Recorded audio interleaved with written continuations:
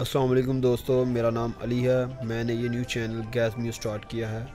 इस चैनल पर मैं आपको ज़िंदगी के तमाम शोबों पर मालूम आसान अल्फाज में दूँगा। या यूँ समझ लीजिए कि ये मेरा चैनल उर्दू विकीपीडिया है।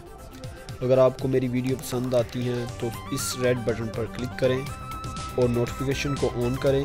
इससे मेरी तमाम अपडेटेड वीडियोस आपको नोटिफिकेशन से मिल जाएँगी। ये मेरी पहली वीडियो है तो कोई गलती, ब्लेंडर, एरर इग्नोर करें। चलें, वीडियो स्टार्ट करते हैं।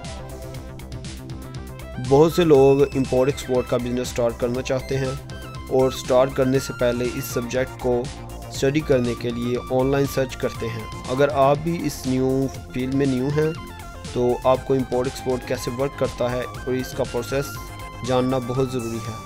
अगर आप स्टडी किए बिना इंपोर्ट एक्सपोर्ट बिज़नेस शुरू कर देंगे तो इससे आपका पैसा और वक्त दोनों ज़ाया जा सकते हैं। या यूँ समझ लीजिए कि ये आपके लिए एक ड्रोन ख्वाब से कम नहीं होगा। तो इस वीडियो में हम जानेंगे कि इंटरनेशनल ट्रेड किसे कहते हैं और इम्पोर्ट एक्सपोर्ट का मतलब क्या है। मरहला नंबर एक बैन अवी तजारत। बैन अवी तजारत माशियात की एक शाख है। बुनियादी तौर पर यह एक बैन अवी माशियात की एक ज़िली शाख है। इसमें मुख्य ममालक आपस में तजारत और इनके मतलब मामला का जायज़ा लेते हैं।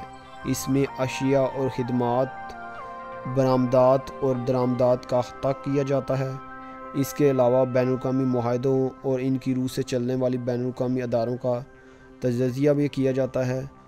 दरामद और बरामद क्या है? What is export and import असलाही मैनों में बरामद का मतलब एक मुल्क की हदूद में बाहर अशिया या खदमात भेजना बरामद करने वाला शख्स बरामद कुनिंदा कहलाता है, यानी कि एक्सपोर्ट करने वाला शख्स एक्सपोर्टर कहलाता है।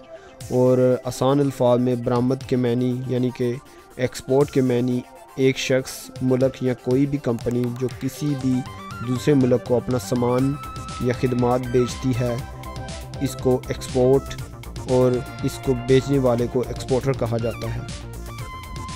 वाट इज़ इम्पोर्ट दरामद क्या है? दरामद का मतलब कोई भी मौजूद अपने दायरा अख्तियार में लाना, या ख़ास तौर पर एक कौमी सर से पार किसी दूसरे मुल्क से ख़रीदारी करके अपने मुल्क में वो चीज़ लाने को दरामद कहा कहते हैं।